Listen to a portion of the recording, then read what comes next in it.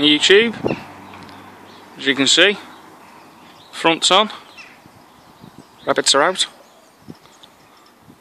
So that's all I've managed to do at the minute, the front. I've still got the two sides and the back to do. But fortunately, a bit of an update. Stay tuned for more. Cheers to all the new subscribers. And um, yeah, catch you again soon. Ciao.